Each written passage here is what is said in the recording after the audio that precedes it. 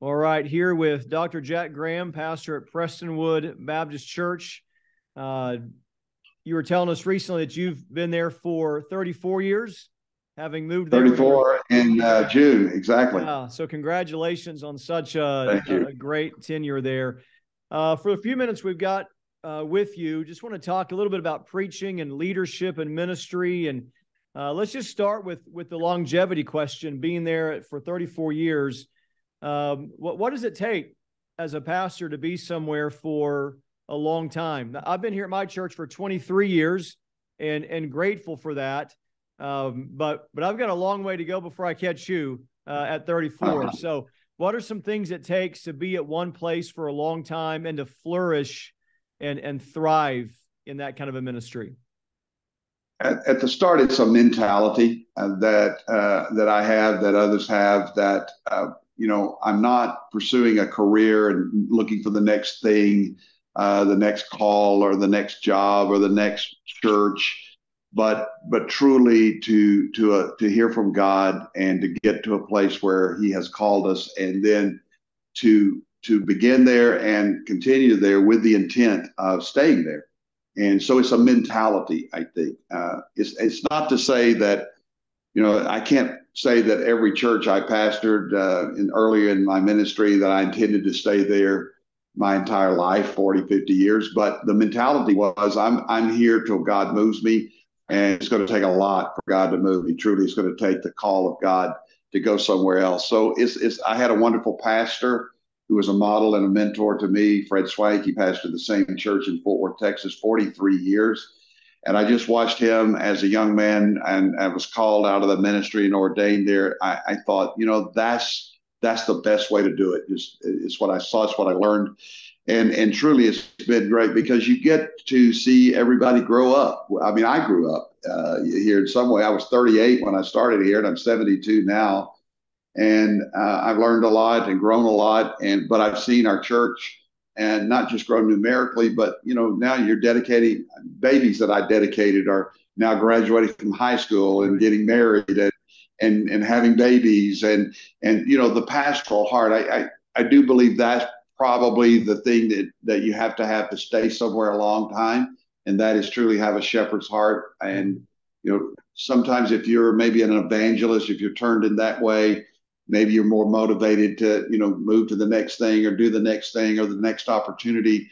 But if you have a pastoral heart uh, your desire is going to be uh, to pastor the people and shepherd them forward. And yeah. so I, I think i don't know that i've ever ever put it just like that. I've been asked the resilience question a right. lot of times. Sure. Perseverance. But i do think it ultimately it's a mentality. Yeah. it's the mentality that this that ministry is not achieved is received as paul said in Acts 20, 24. And, uh, and so when it's a stewardship, you take good care of it, you do it every day. And, uh, you know, I was telling your pastoral staff earlier, you know, I'm a baseball fan. Cal Ripken played 16 consecutive years, 2,600 and something games. They asked him how he did it. He said, I just showed up every day.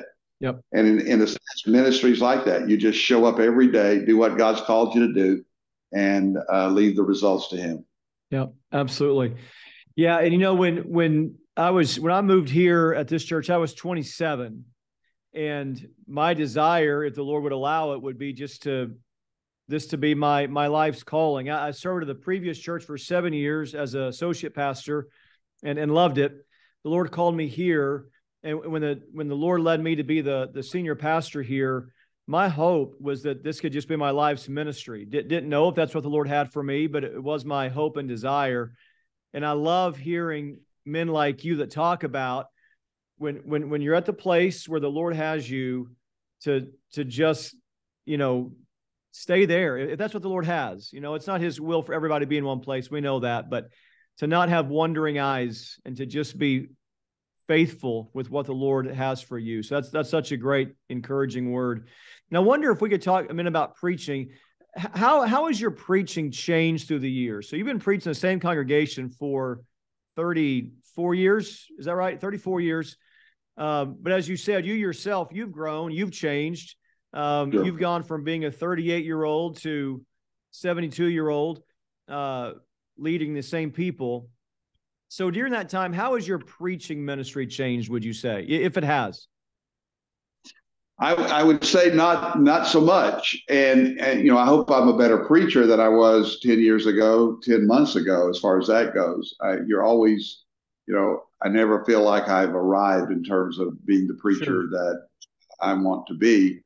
So I don't want to suggest that you know in saying that my preaching hasn't changed that much that I haven't worked on it because I work on it every week. Sure. Uh, but, the, but but what I do in the pulpit has not changed from my earliest days of being pastor of a part-time church on the weekend in Cross Plains, Texas, uh, to my earliest pastorates in Oklahoma, and then Prestonwood these years, and that is uh, is to preach biblical series messages, and you know, if, if you stay connected to Scripture, there's always more to preach, more to say. I, I find myself today uh, with a lot of confidence uh, in terms of, you know, I've been preparing a lot. You know, it, it's not the preaching act that's the most difficult thing, it's preparing to preach. Sure. And when you're preparing a long time, I mean, your lifetime is preparation. And so I, I would say, in some ways, preparing is easier uh, today than it was 10 years ago, 20 years ago, just because uh, you know, I've got a I've got a file system. I've got a I've got a uh, I've got a lot in my head and, and in my heart. And so in that sense, preparation is different. And I think spontaneity, I, I would say I've, I've moved from, I've never preached from a manuscript. I've uh, always preached what I call a sentence outline. I could take my notes of something, and I have these notes from, you know, years back, something that I preached in, pick a number, 1995 so the notes that I preached are typed uh, at this point, and I could go back and pretty much preach that sermon exactly the way I did whenever I preached it before. So I, I do I do have notes that are for the sake of filing, but when I preach, I try to preach with spontaneity, and um, and so I'm not I'm not uh, for me, I've tried manuscripts and, and I look at people that do manuscripts and they do so well with it. I don't. Uh, and so it's better for me to have that spontaneity. And I think as I have aged, uh, and you just get more and more uh, confident, if you will, in in what you're saying and what you're preparing to say, that um, that the preparation is different and the spontaneity perhaps is more. Um, so I would say I'm looser now. I'm, uh, not as tied to maybe even what I prepared, but allowing the Holy Spirit to prompt me. I don't go way off track from what I prepared to preach. I don't. But I, I do think I'm a better preacher in the sense of is I've always had a natural ability to speak. And uh, I, so there was always that. But I think even today, more and more, there's just less angst, if you will, when I ride that pulpit uh, that I know by now that it's where I'm supposed to be, and it, I've been there for a lifetime. It's a great place. Yeah, um, it's the greatest thing to do. You know, is to persuade people uh, to know and follow Christ, and I'm still doing that. And I, I read a book early on. Roy Fish uh, had us read it at seminary, the great uh, evangelism professor of Southwestern Seminary. It was written by Leighton Ford called The Christian Persuader. Hmm. And it's about evangelism, but it's about the call of the pastor and the preacher, the evangelist, to persuade. Mm. And um, so, in that sense, that's always been uh, you're from it. You are a master's seminary guy. You look at a guy like MacArthur. Uh, MacArthur's almost like an attorney. He's like a, a lawyer making a case and to persuade uh, the people to to hear God's word and, and act in accordance.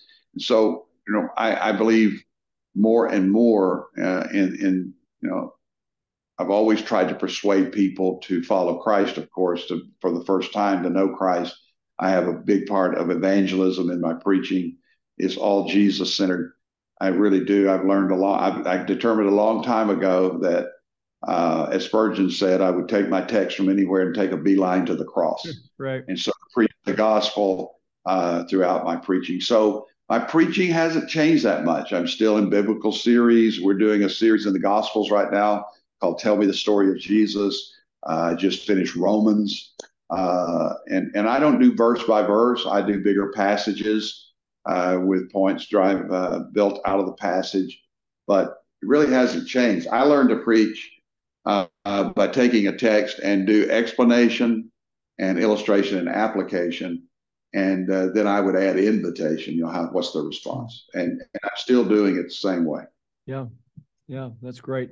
When, when you think about the role of a of a pastor of a church, particularly uh, one the just the scope and magnitude where the Lord has you.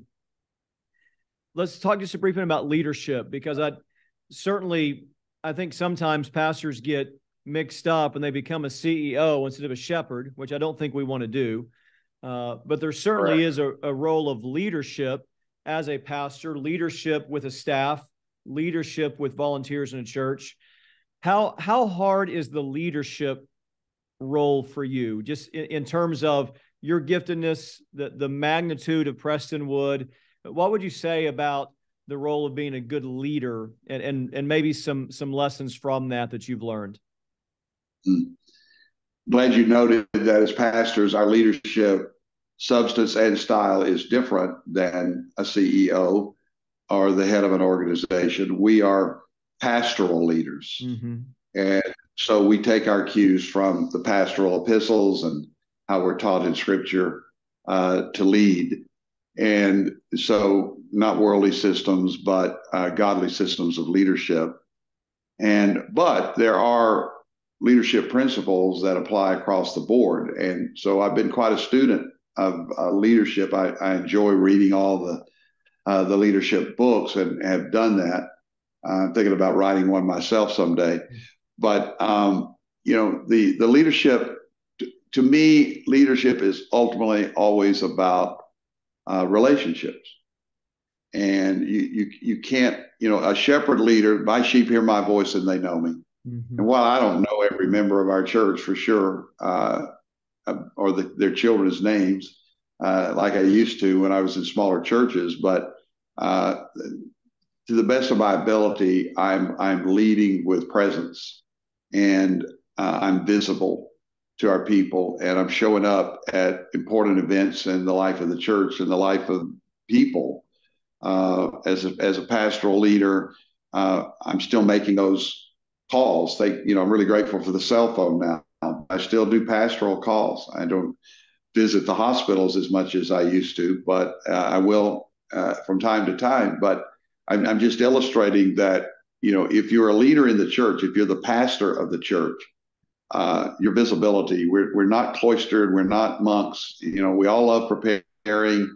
You know, I don't know. People ask, are you an extrovert or an introvert? I think I'm somewhere in between. I mean, I enjoy time alone. I enjoy time in my library, but, and, and I, I do try to, you know, as Dr. Criswell used to say, give your mornings to God, but then give the rest of your day to your people and, right. and serving Lord through uh, the congregation and its ministry to the, uh, to your people.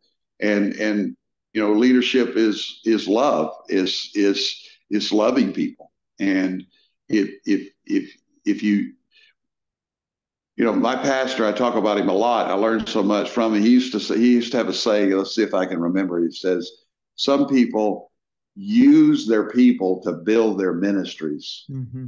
Others build their people to build to use their ministries in other words and yeah. and it, there's a big difference and so it's motivation isn't it is is is mentality back to that word it's the mindset that we have that uh, we are not uh, performers we're not professionals we are preachers of the gospel we are pastors of the church amen amen well, thank you for that. I appreciate you sharing a few minutes with us and thankful in God's providence uh, to be able to make a friendship with you in, in recent months. Absolutely. And, uh, glad for the Lord's kindness in that. And pray that He would continue to bless you and your ministry there, Prestonwood. Thank you. Look forward to seeing you again soon. All right. Blessings to you.